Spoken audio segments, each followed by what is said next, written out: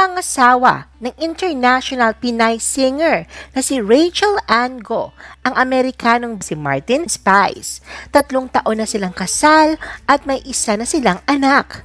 Paano nga ba nagsimula ang kanilang pagmamahalan? The Philippine Showbiz List presents Rachel Ann Go and Martin Spice Love Story, a timeline. April 2017, isang post ni Rachel Ann sa Instagram ang nagpapahiwatig sa bagong lalaki sa kanyang buhay. Noong April 23, 2017, ang 30-year-old Miss Saigon actress ay nagpost ng photo kasama ang isang gwapong foreigner. Ang lalaki sa photo ay kinilala na isa sa mga followers ni Rachel na si Martin Spice na nakatag sa isa sa mga comments.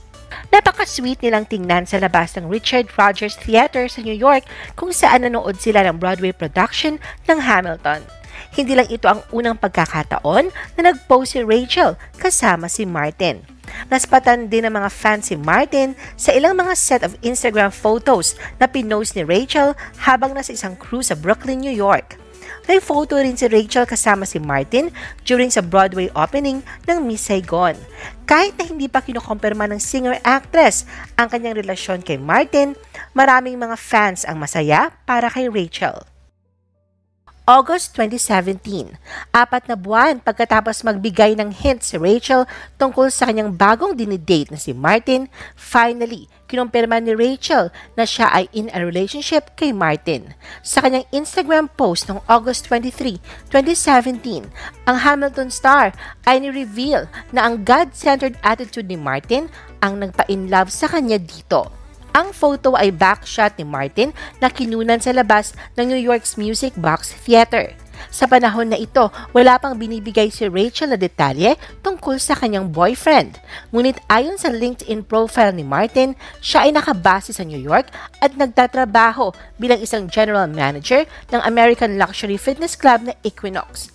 Graduate siya na may degree in Business Administration, major in Finance sa University of Florida.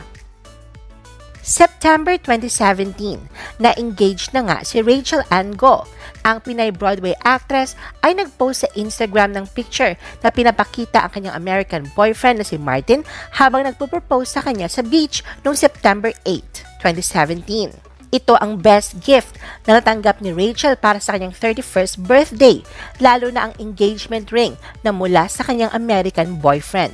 Nangyari ang memorable day nila noong September 5, 2017. Ayon sa statement ni Rachel sa PEP, ito raw ang pinagdadasal niya noon pa man.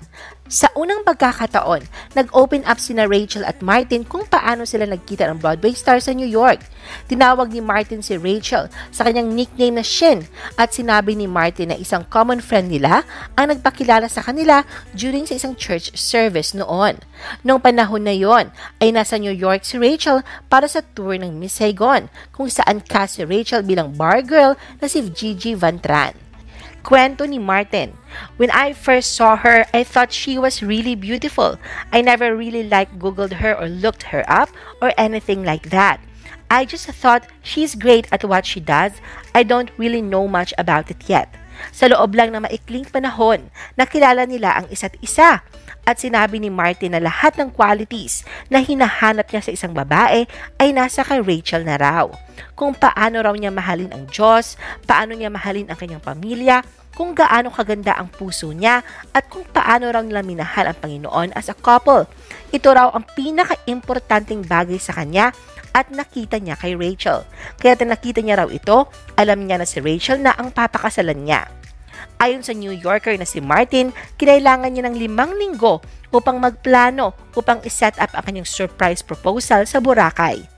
Base sa video ng proposal ni Martin, na sorpresa talaga si Rachel nang lumuhod na si Martin at tinanong nito ang dalaga sa beach. Makikita na umiyak ang singer-actress nang sabihin niya ang salitang yes.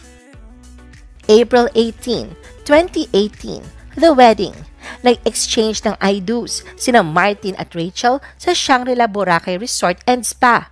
Naging more special pa ang occasion dahil sa presensya ng mga singing champions na sina Sara Geronimo, Kyla, Mark Bautista at Eric Santos.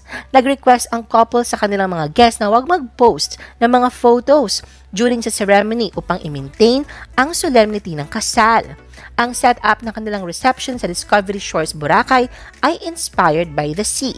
It was breathtaking.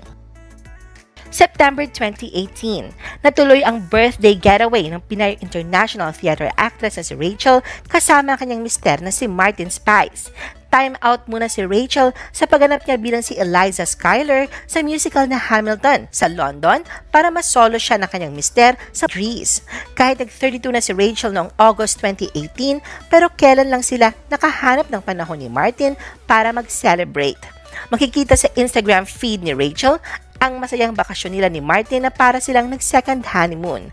Happy si Mr. and Mrs. Spice dahil silang dalawa lang ang nasa isang yacht at ini-enjoy ang magandang tanawin sa dagat ng Greece. Nag-post rin si Rachel ng pasasalamat sa kanyang mister dahil sa birthday surprise na binigay nito sa kanya. Noong January 2020, na-report na nakatira si Rachel sa isang four-bedroom house sa London kasama si Martin. Sinabi ni Rachel na owning the house is an answered prayer. Ayon kay Rachel na kinailangan niya at ni Martin ng isang taon upang makahanap ng perfect home sa London kung saan nila balak magtayo ng pamilya. Isa sa nagustuhan nila sa kanilang bahay ay ang quiet suburban neighborhood at may easy access sa city center. Around July 2019, nahanap nila Rachel at Martin ang bahay sa Greenwich, London na 20 minutes away from West End. October 2020, dahil hangad ni Rachel Ango na maging inspirasyon ang kanyang love story sa mga single, detalyadong ibinahagi ni Rachel Ann kung paano niya natagpuan ang kanyang the one sa ibang bansa. Nagdetalye si Rachel Ann kung bakit niya nasabing sagot sa kanyang dalangin ang American husband sa YouTube video na inupload noong October 2. Saad ng theater singer, naging detalyado raw siya sa mga katangian nang gusto niyang mapangasawa mula sa itsura hanggang sa ugali. Maging si Rachel Ann na mangharaw sa pagkadetalyado ng gusto niyang mapangasawa. Ayon kay Martin, around January 2017 din, nang ipagdasal niyang sana makilala ang babaeng papakasalan niya. Sa isang Bible group daw na kasama ang kanyang mga kaibigan, ibinahagi ni Martin sa kanila ang kanyang dasal. Sabi ni Martin, It's not usually that I share with other men. I think we're pretty close, but I share that with them. I pray that night for my future wife. Pagdating daw sa New York, tumuloy si Rachel Ann sa kanyang tita Ritz na itinuturing niyang second mom. Naging ninang ito sa kasal nila ni Martin na nagpakilala kay Rachel Ann sa isang lalaking gwapo at godly. Nang mag-isang nagpunta ng church si Rachel Ann dahil hindi available ang kanyang tita, dito raw unang nasilayan ni Rachel Ann ang lalaking magpapabago ng kanyang buhay. Tininan daw niya ang lalaki. Anya, napatingin ako, nagpalpitate, there was a palpitation.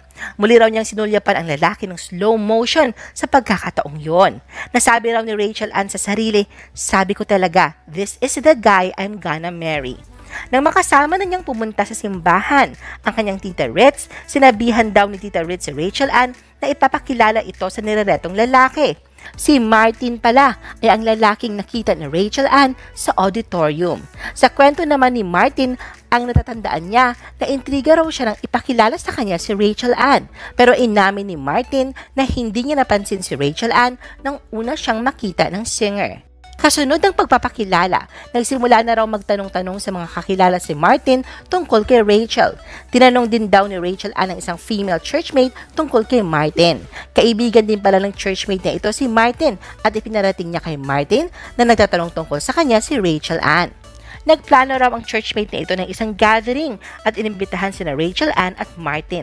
Nagkaroon daw sila ng pagkakataong mag-usap at lalong humanga si Rachel Ann kay Martin. Kinabukasan, nag-text daw si Martin kay Rachel at niyaya niya itong lumabas. Ang first date daw nila ay February 13, 2017. Kinabukasan, araw ng mga puso, nag-iwan daw ng chocolate si Martin sa flat ni Rachel Ann. Napagkasunduan daw nilang dalawa na kilalanin ng isa't isa at gawing foundation ang kanilang pagkakaibigan. Pagsapit daw ng April 2017, nagdesisyon ang dalawa na maging official na magkarelasyon. Kabado raw si Rachel Ann noon dahil marami na siyang naisip, particular ang pagkakaroon ng long-distance relationship. Pagsapit doon ng August, uuwi na sa Pilipinas si Rachel Ann at hindi magtatagal ay magtutungo sa London para sa isang musical play. Sinuportahan daw ni Martin ang mga kondisyon ni Rachel Ann at sinabing magkakatuluyan sila kung kaloob ito ng Diyos. Nang umuwi na ng Pilipinas si Rachel Ann, sinabi naman ni Martin na plinano na niyang sumunod sa Pilipinas para sa birthday ni Rachel Ann at makilala ang pamilya ng girlfriend. November 2020, inanunsyo ni Rachel Ann ang isang magandang balita sa kanyang YouTube vlog, ang pagbubuntis niya. Nalaman raw ng couple ito noong August 2020. Noong panahon na yon, si Rachel ay almost 10 weeks pregnant. Sinabi na raw nila sa kanilang mga pamilya ang gender ng baby, ngunit sinabi ni Rachel na hindi na muna niya inanunsyo sa publiko. March 2021, sa isang Instagram post noong March 30, 2021, ang 34-year-old singer ay nireveal na siya at ang kanyang husband ay will welcome ang kanilang baby boy. Sa kanyang caption, sinabi na pinanganak niya ang kanyang first baby noong March 26, 2021 sa London, the United Kingdom. Pinangalanan nila ang kanilang anak na Lucas Judah.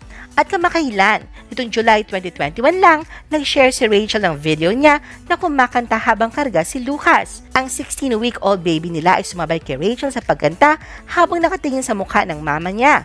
At sobrang cute tingnan ang duet nila.